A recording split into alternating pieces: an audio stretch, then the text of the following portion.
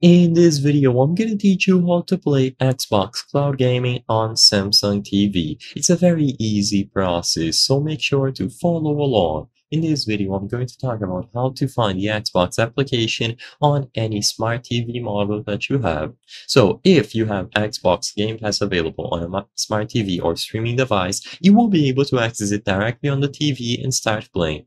The only requirements are that you have a controller connected to that device. So usually you will be able to pair up a controller to a smart TV or streaming device through Bluetooth. They are going to guide you through the process when you open the app. Next, you need a Game Pass Ultimate subscription. This is going to be required to access the service. And finally, just make sure that the device is connected to a strong and stable internet connection.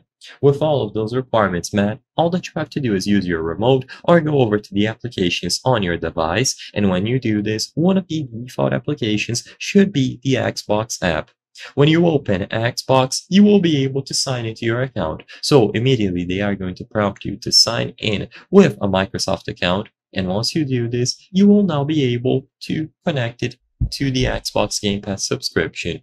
Once you sign into a valid account, they are going to see if you have a controller connected, and if you don't, now is when you will be able to pair it. So press the sync button on the controller, make sure that it connects properly to the smart TV or streaming device, and once this is done and the controller has been detected and you are signed into your account, you will now be able to browse through all of the catalog of games available on the service. You will be able to do this directly on your Samsung TV. You just need to make sure that you sign properly into the account. You might need to scan a QR code to do this, and as long as it is connected to the same network that you use, you will be good to go to access any game. I hope I was able to help you on how to play Xbox Cloud Gaming on Samsung TV. If this video helped you, please be sure to leave a like and subscribe for more very easy tips. Thank you for watching.